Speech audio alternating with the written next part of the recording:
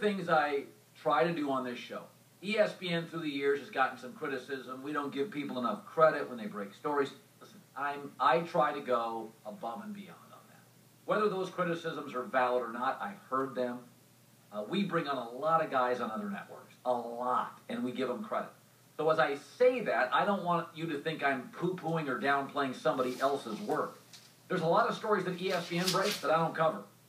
You know, we, we got a lot of investigative guys breaking stories. I don't cover those either. This story is getting some play, and I, I got to tell you, I don't know what to make of it, and I'm not outraged by it. It's the Oklahoma State paid players.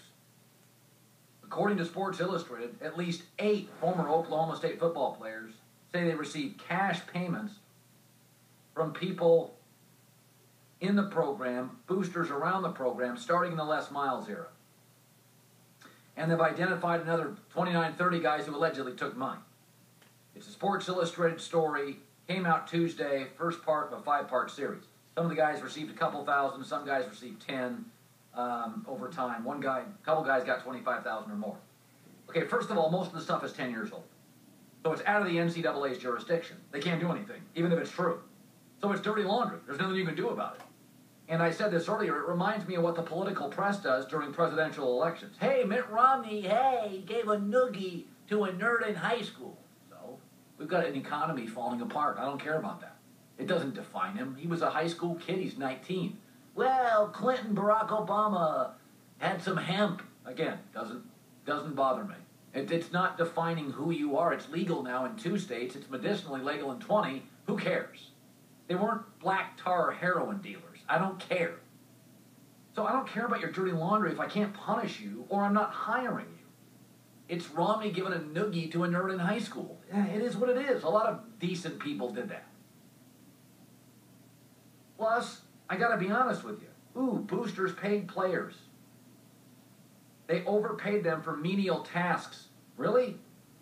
Breaking news car mechanics overcharge women. Uh, okay. Now, George Dohrmann did the story. He's fantastic. He was on with SVP and Russillo yesterday, and he said two things. Um, here, here's the first thing he said. We assume guys get hooked up with a little money here or there, that their tutor does their work for them. You know, but but with you know the story we wrote today, money. You know, these were guys were getting handed envelopes, you know, full of cash after games. You know, boosters are walking up to them after games and giving them five hundred dollar handshakes. This is in the locker room. And while I know that you know that this can't be the first place that that's occurred, you you think, wow, that you know is not behind the scenes. That's not really even under the table. That's out in the open, and, and it says sort of something about not only you know how the, the compliance office and, and what kind of oversight existed at the school, but that they you know that they were really that not concerned at all about the ramifications of those actions. Well, um, they were concerned about the ramifications if it got out. If people were concerned about ramifications, they wouldn't cheat on their wives. Um, you know, everybody's concerned about stuff getting out. What he just said, I've heard about before. You know, whether you pay a guy in the locker room, outside of the locker room, or at your steakhouse that night, it's the same thing. Uh, it's wrong, and it's happening in a lot of places. Now, I'm not going to embellish this and say it happens everywhere because I don't know that. But I mean, let's be honest. In the South, Texas, football matters a lot. Boosters want to feel like big shots. Every time you get these boosters, um, cut the get the Jimmy Johnson bite from earlier today, saying he had to warn boosters. This is the reality of the Southern culture and the Texas football culture. It is it's a big deal to have a handshake with Johnny Football and the local star, and there's going to be always that guy that wants to be a big shot in a small town. Jimmy Johnson talked about that earlier today on our show. Anytime you have you know over enthusiastic boosters and alumni mingling with your players. Oh boy. Uh, there's a problem. You got to monitor that. You you got to be careful there because you know they're not as concerned about the rules as what you are. I think that's endemic. I think it's part of the sport. So again, I'm not knocking George for reporting that. I'm saying I think it's more common than you think. And whether you're paying them in a car later that night, in or out of the locker room, it's paying people, and it happens. The second thing, and I think this is a stretch by the reporter, play this bite. They would not be, you know, a BCS team, BCS bowl team. Absolutely not. I mean, I think once you read the full series, you'll you know I, I sort of think of them as like stanchions on which the program's rise you know was built. So I think absolutely not. See, now I, that's a big stretch to me. That's a big stretch to me because Oregon's a national program. There's no story about them paying all these players in the locker room, and there's no players in that state. Oklahoma is a state full of players. It's surrounded next door to Texas. It's you know it's the plain states, the South. There's players everywhere. To say that Oklahoma State would never be great, what did Jim Harbaugh do at Stanford? They got the right coach. He turned the program around. Northwestern's good right now. Academically rigid, small school, north of Chicago, not a great football tradition. How did they win? They got a good coach. So to say Oklahoma State would not have been as good as they are now, and they're not a top 10 program, but they're just outside of it. They're a top 15. They're good. They're Oregon about four years ago, six years ago. They're good.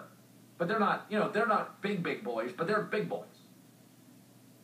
But I, I don't think you can make that, hey, hand guys, started the ball rolling.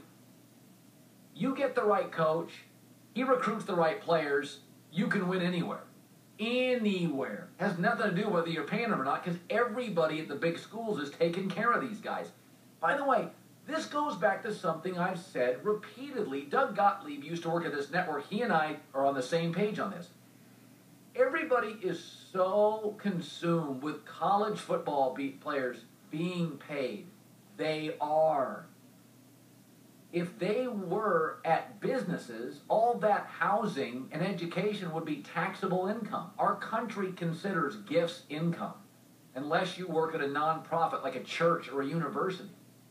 Our country considers education, housing, tutoring, that's taxable income. The only reason it's not is because universities are nonprofit. If they registered as a business or an LLC, you could tax all those players. These guys are getting paid. Education, free food, housing, living, transportation, promotion, tutoring, training, and this. So can we stop with their being extorted? Somebody please extort my kids to Stanford. By the way, Oklahoma State's biggest booster, T. Boone Pickens, he's rich gave his thoughts on the story. There's one word I have for the Sports Illustrated reporting on Oklahoma State disappointing. The series is not reflective of Oklahoma State University today. Many of the sensational allegations go back a decade. There have been wholesale changes at the school in recent years in leadership and facilities. During that time, I have given more than $500 million to OSU for athletics and academics. Have I gotten my money's worth? You bet. Now, that doesn't invalidate facts written by SI. I'm not saying they're not valid. What I'm saying is there's nothing the NCAA do, can do. There's nothing in this that is egregious from what I've heard through the years. Um, I did in one report hear about coaches funneling money to players. That's bad news. The booster stuff, the the sex during recruiting trips, I gotta I gotta tell you, that is commonplace. That that that's not even that doesn't even rise to mildly shocking. And a lot of it's like it's I can't do anything with any of this stuff. I know I should feel terrible. During these years, they were supposedly cheating 01 to 05. They were 32 and 28. Didn't do much good.